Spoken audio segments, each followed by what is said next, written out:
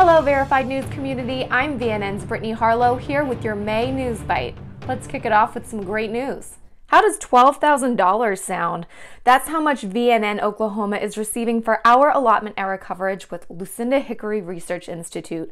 Our data driven reporting project will be primarily funded by the Google News Initiative in partnership with Northwestern University Medill. We're in the process of raising funds for the rest. VNN Oklahoma also won $3,000 during Builders and Backers Experiment Expo this month, taking home the title of crowd favorite for our work to elevate grassroots journalism.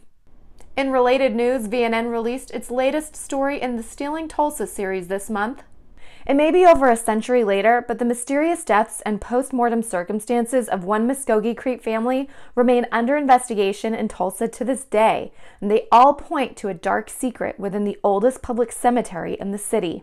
A bill to help abuse survivors who fight back against their abusers in Oklahoma died with the conclusion of the 2023 regular session. The Domestic Abuse Survivorship Act was written with retroactivity, but it was later removed from the bill. In Michigan, VNN's Rachel Schuett shined a light on family homelessness. The stress and trauma of not having a stable home, lack of seasonal clothing, access to laundry facilities, technology to keep up with classes, and what is being done to help.